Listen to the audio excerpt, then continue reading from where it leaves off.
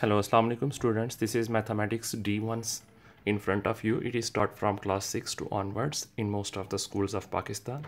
The students from class 6, 7 and 8 and probably 9 students can also take benefit from my lecture. So get ready if you have the copy and pencil nearer to you so you can note down my lecture. And if you have the book available nearer to you, then open chapter 4, exercise 4a and question number 3. I have already done question number 2 in my previous video. Let's read the question carefully first of all before solving the question. Given that a is equal to 3, b is equal to minus 5 and c is equal to 6, evaluate each of the following expressions.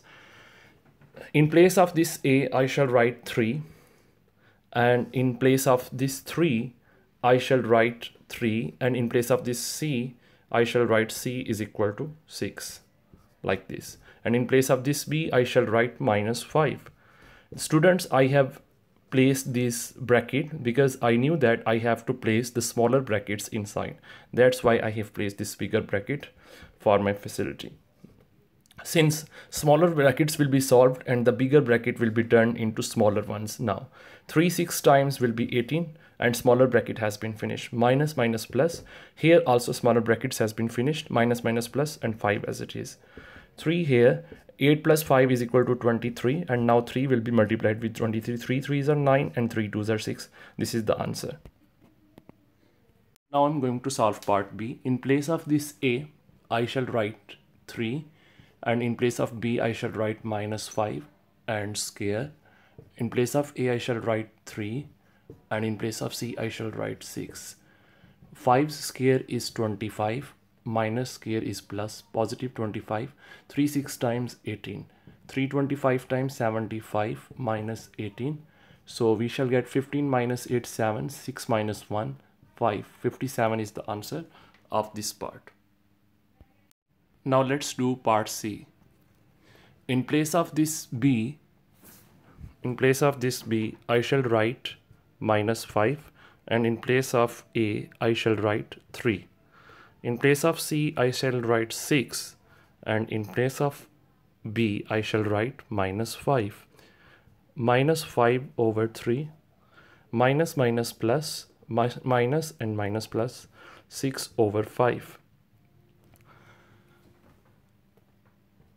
Minus 5 and here minus, here 3 will be multiplied by 5 and if it is multiplied by 5, this will also be multiplied by 5 and if they are being multiplied by 5 here 5 will be multiplied by 3 its numerator will also be multiplied by 3 5 5 times 25 and 3 5 times 15 here 6 3 times 18 and 5 3 times 15 15 on the bottom of both so 15 will be written only once. 25 minus 18 will be 7 minus 7 is the answer. Sign of the bigger value will be used. 25 is bigger then 18 so its sign will be used. So 7 over 15 is the answer. So let's move to part D now. So the part D has been written from exercise 4a now you will see how we shall solve it.